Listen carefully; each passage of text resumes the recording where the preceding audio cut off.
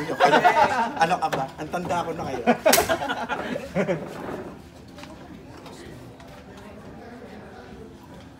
Okay. Ah, at least natutuwa ako dahil halo ang mag interview sa akin. Merong mga bata, merong medyo matanda, at medyo mga kaedad ko. Sir, ano yung magiging role mo rito sa pagpasok ng fifth season ng Panic at Character? Well, nakakatawa pa rin, pero ako yung parang villain. Ako yung kontrabida sa buhay ni Carla at saka ni Bayani, doon sa mag-asawa.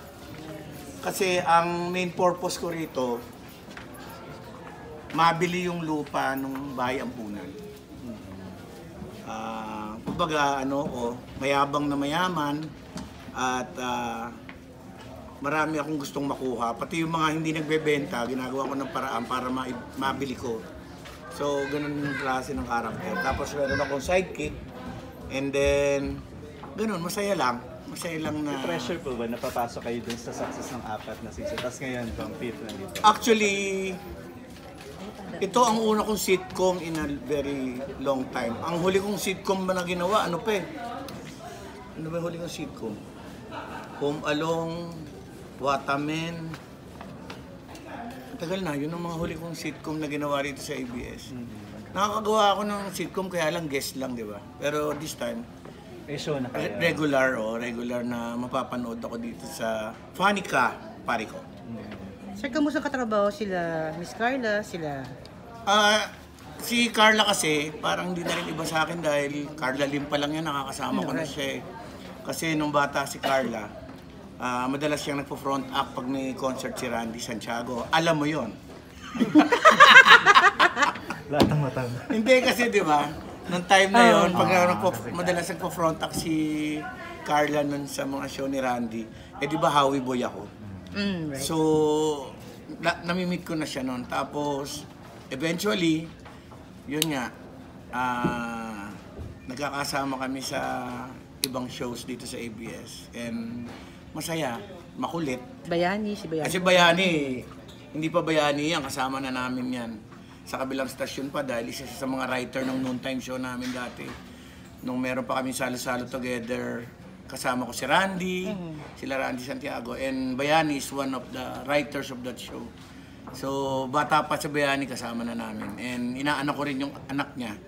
At ah, yung isang anak kong lalaki, inaanak din ni Bayani. So, buo kami magkumpare ni Bayani. Sir, you're both busy ni Julia ngayon. Nagkakaroon pa ba kayong time bonding? Father-daughter bonding? Nitong, actually, nung March 10, nung birthday niya, hindi kami nagkasama kasi nga busy siya before the birthday. And then, nung birthday na nung March 10, yun yung nag-shargo siya with friends.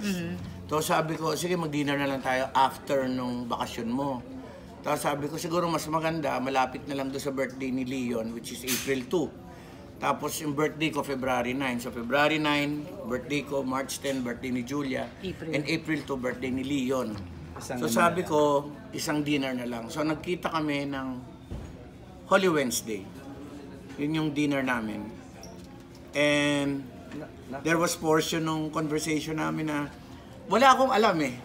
Kaya alam, marami nagkikwento sa akin during the Holy Week.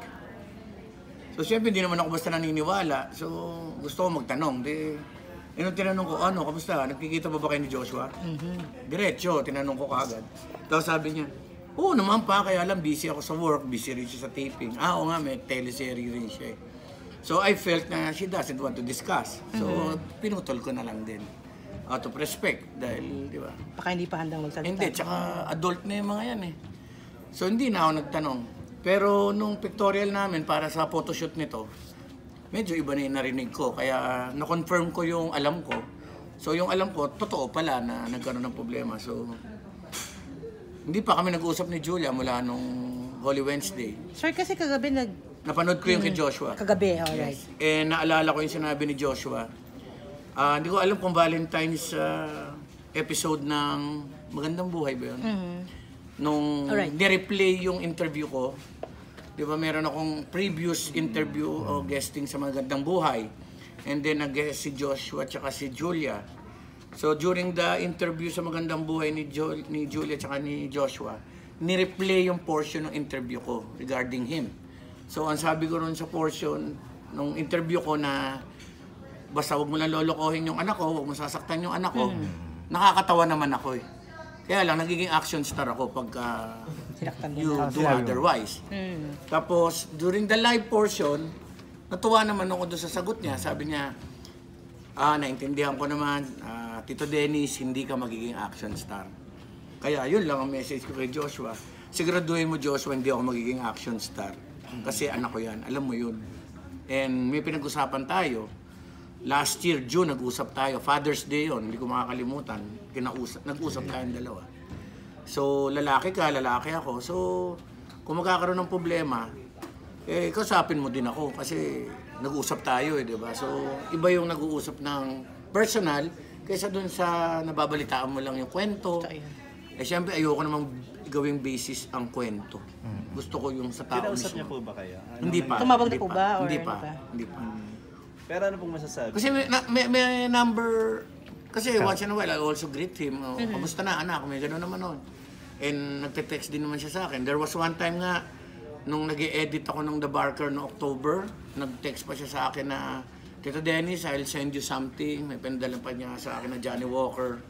Sabi ko, bait na bata. So sabi ko, Pero, okay pero na. sir, do you feel disappointment? Disappoint po ba tayo? Oo naman. Siyempre, anak mo yun eh. Di ba? Anyway, kung ano man yung problema nyo, dahil matatanda na naman kayo, puro kayo mga adult na eh, di ba? Alam nyo na yung dapat gawin. And kay Julia, pagka alam mo na hindi ka masaya, umalis ka na dyan. Ngayon, kung masaya ka pa dyan, Go. maintain mo lang. Kasi ganun lang naman yun eh, di ba? Pagka masyado nang mainit sa kusina, anong gagawin mo? Lumabas ka rin sa kusina, mainit eh. Mm, totoo. Pero kung kaya mo pa yung init sa kusina, at masaya ka pa rin sa kusina na yan, stay within. Stay within. Pero sa ngayon, sa tingin mo, Hindi ko alam eh. Kasi napanood ko yung napanood ko yung Ano bang interview ni reaction niya Joshua. dun sa kagabi? Na, Na-interview niya, interview naiiyak niya kay po. Joshua. Wala, ganito lang yung mukha ko. Hindi ka na Naniwala po ba? Naniwala ka po? Hindi ko pa naniwala. paliwanag na. Ah, nung umpisa hindi, pero nung bandang huli parang naniniwala na ako, especially nung sinabi ni Boy Abunda na ito, I remember the phrase, sabi niya, ah, Joshua, you have my respect. okay. So nung sinabi ni Boy Abunda yun, sabi ko, sige, approve. medyo natitiri-eyed ka kanina, na luluha-luha ka na pag dun sa ano na yan. Sama ah. loob ko nung Oo mga nga eh, nakaraang naramdaman araw. namin yung parang sama na Ang loob. bilis ko magsalita, nakita mo. Oo. Mm. Kasi bago ko pa kayo nakaharap, nung isang araw pa, alam ko na sasabihin pag may lumapit sa akin. At ito na yun, nasabi ko na kagad. Wala pa yatang one minute yun, ay paliwanag ko na. eh. Kung sakali pong lumapit ka sa inyo sa... Ha? Alam mo ba, ngayon, habang nagsasalita ako, dumat. Ano dumat. pwedeng gawin mo kay, kay Josh? Wala, you just have to talk to him kasi lalaki naman yun. Tsaka may tatay din naman yun. So, I'm sure na... Eh, gano'n naman tayo, kami mga lalaki. Kasi nung kabataan ko din naman, hindi naman ako ganun ka-perfect na tao. Hindi naman ako ganun ka-straight na lalaki. Ibig sabihin eh, na, minsan napapatid ka rin. At minsan na, nahahams ka rin, di ba? Pero kailangan aregluhin mo na kagad. Ngayon, ang risk nun, maareglo mo ba? Correct. Kasi alam ko, katulad mo, babae ka, di ba kayong mga kababaihan o in general, ang mga Pilipina, mahaba ang mga pasensya nyo. Nakakapagpatawad kayo, di ba? Pero pag dumating doon sa punto, nasagad na, wala ka nang babalikan. Di ba ganun ang mga na. kababaihan? Pagka matagal kayong mag-no, matagal kayong mag-no, nag-yes pa rin kayo, kaya nasasaktan kayo. Pero pagka nag-final no na kayo, Yun na yun. Oh, wala. Kahit na lumuhod ka pa na umiiyak, wala ka nang babalikan. Kung sakali po Alam ba- ko kaya yan, marami ako experience, right? Pero kung sakali po bang lumapit si Joshua sa inyo at kausapin kayo regarding that matter? ha? Mag-sorry lang sa akin, okay na yun. Ah, okay. Sabi niya, sorry, Tito Dennis. At mga ako na wag ulit. Ha? Wag gawin. Mga ako na wag gawin uli. Ay, hindi. Pag inulit niya, magiging action star na talaga ako. Wala na makakapigil nun. Tsaka hindi na ako nagpapatawa nun. Correct. Kasi, di ba? Eh, kaya nga may man-to-man talk eh, di ba? That's more than a contract eh. Pero sabi niya, okay naman na po silang dalawa. Si Yes. Julia Dito sa nak- narinig ko kagabi, di ba? Okay na naman daw. Okay naman daw. Tapos sabi niya, ano raw, ah, tat, matatawiran, ano? Ma, may tatawid Malalagpasan natin. din. Malalagpasan Malalagpasan. din natin yun. And yun, good luck sa Jos Lia. And yung mga fans ng Jos Lia, ah, bigyan po natin sila ng isa pang pagkakataon. At ah, masaya po yung partnership nila. At alam kong mahal na mahal ng anak ko si Joshua. Si Julia po ba hindi naghumingi sa inyo ng advice regarding dun sa nangyari? Or Hindi. tahimik lang siya? Tahimik si Jos. Hindi, si Julia. Ano yun, eh, tahimik yun. Tsaka hindi magsusumbong sa akin yun dahil Alam niya. Baka sugurin mo. Ano gawin ko? Ah, Hindi, tsaka kilala, niya- kilala niya ako eh. Kaya nga nung iniwasan niya yung subject, hindi ko pinush. Kasi alam niya, alam, alam, alam niya yun. eh. Kasi di ba, kumbaga, pagka mainit na, huwag mo nang gatungan. Kumbaga, ganun yun eh. So, ganun. Nakausap niyo po ba si Miss Marjorie regarding sa issue na to? Hindi, hindi naman kami nag-uusap. hindi naman kami nag-uusap no. Pero ano yung message niyo dun sa dalawa? Or especially to Joshua? Kung may mensahe sa Ah, ah, Joshua, usap tayo pag may time ka. Tawagan mo ako kaya i-text mo ako. Magkita tayo, gusto kita makausap. Si Julia po. Hindi, si Julia, hindi ko na kailangan kausapin niyo. Wala mong problema doon sa anak ko eh.